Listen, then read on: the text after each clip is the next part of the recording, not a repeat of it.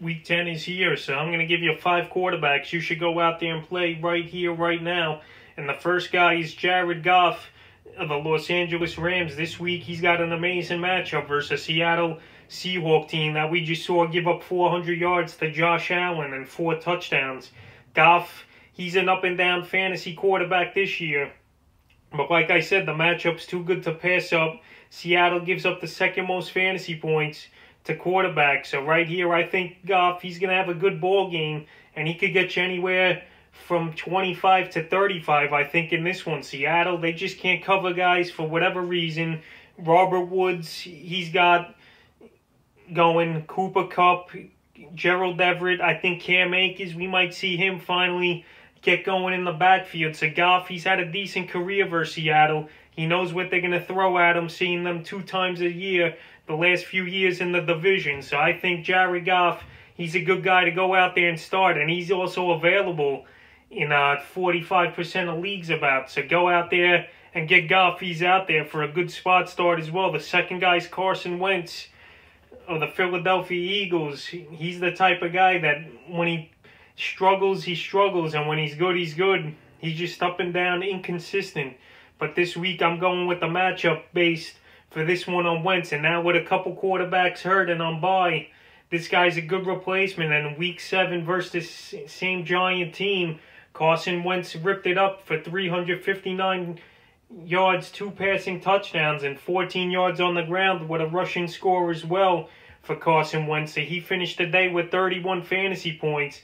And once again, here versus the Giants, I know the game's on the road.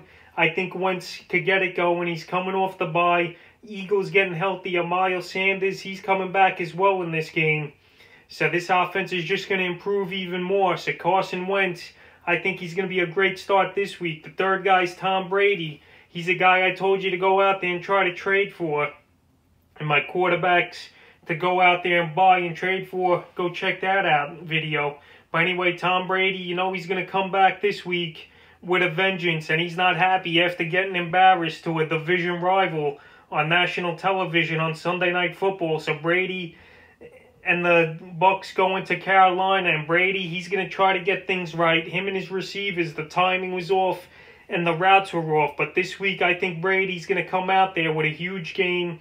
Antonio Brown's going to get going, I think, as well. So right there, it's going to be fine for Tampa. And Tom, I think he could go for 30 to 35 fantasy points in this one. The next quarterback I'm going to start is Derek Carr with the Vegas Raiders. Last week, he was in a good matchup, but he didn't put out that much of a fantasy value. He only finished the day with 18 points, 165 yards, and two passing touchdowns. But the good thing for Carr, he's back home, and when he's home, he plays much better. Carr home now versus Denver, who we saw Matt Ryan just light up as well. Denver gives up the 17th most fantasy points to quarterbacks. So they're middle of the pack pretty much. Carr, I could see him go out there and have a good ball game. His Carr, so I like what he's doing. Carr, he's hitting receivers, even though he don't have a true number one. He's got Agholor, Renfrow, and Ruggs, but Ruggs has been a disappointment. It's the rookie so far, but Wall is helping him. And Richard and Booker also out of the backfield. Carr, I think he could get you 20 to 25 points, and that's not that bad of a start especially like I said with the byes and the injuries at the quarterback position. And the fifth and final guy I'm looking to start at quarterback this week is Drew Brees of the New Orleans Saints. And I've been down on Brees for many weeks and most of the season, but Brees has proved me wrong week in and week out. And then in week nine, he went off for three touchdowns and 30 fantasy points versus a good Tampa Bay Bucs defense. So Drew Brees, he's an every week starting now no questions asked unless you have one of the elite guys going into the week. He's got a great matchup versus San Francisco, who's banged up. They're indoors at the Dome again is Brees. And uh, the Saints, he's got Michael Thomas, Emmanuel Sanders back, Kamara having a monster year. So everything's looking good for the Saints. They're up there in the division. The offense is healthy. They're going to get going. They're going to just keep taking off now here in the stretch run. And Drew Brees, he's a starter the rest of the way with great matchups in the next four weeks for fantasy football. So that's five quarterbacks I'm starting this week heading into week 10.